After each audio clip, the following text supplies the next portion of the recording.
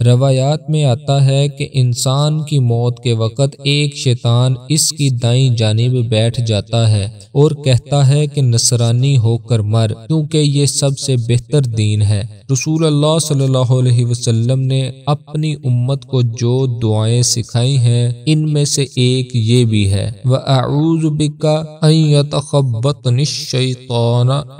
मऊत। और मौत के वक़्त शैतान के गलबा पा जाने से मैं तेरी पनाह में आता हूँ। मुफसरीन कराम फरमाते हैं कि मौत के वक़्त शैतान की ये कोशिश होती है कि इंसान को गुमराह करे, या इसे तोबा करने से रोक दे, या अल्लाह की रहमत से मायूस कर दे, या अल्लाह की रहमत को इसकी नज़र में नापसंदीदा बना दे, ताकि इस तरह इसका बुरा खात्मा हो। गोया जब तक सांस बाकी है, शैतान का फितना बाकी है। तो नाजरीन, इस दुआ को याद कर लें। अबू दाऊद और निसाई की हदीस की किताबों की ये दुआ है, अल्लाह ताला हम सब का खात्मा ईमान पर फरमाए और शैतान के शर से हमें महफूज फरमाए। आमीन सुम आमीन।